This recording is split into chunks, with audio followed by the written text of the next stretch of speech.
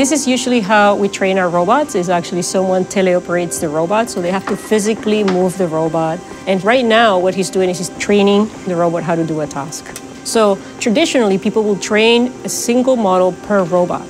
In Gemini Robotics 1.5, we're actually using a single model across multiple robots. So here's an example. We're hanging things from that workbench. One of the key things in 1.5 is that now all of our other robots can actually do the same task. This actually works on a completely different robot, which is the Aloha robot. That was very nice.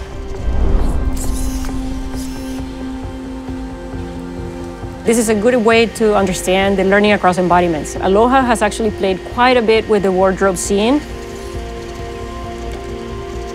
Apollo here has never seen this scene, and we're going to ask it to do something completely new, which is to open this door right here, which is something it's never done before.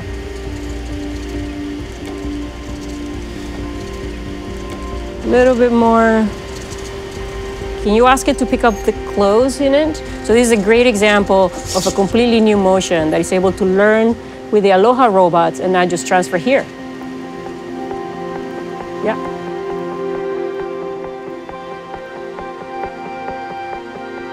In the future where you might have some robots in a particular application like in logistics or another robot in a particular application like in retail and they're all actually learning from each other really accelerating the pace at which we can learn to make truly general purpose robots